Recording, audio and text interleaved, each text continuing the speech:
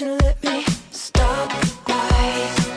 The clock is ticking, running out of time, so we should.